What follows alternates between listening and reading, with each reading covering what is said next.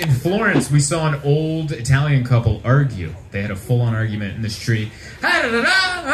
She tried to leave, and he grabbed and shook her, and her sunglasses went.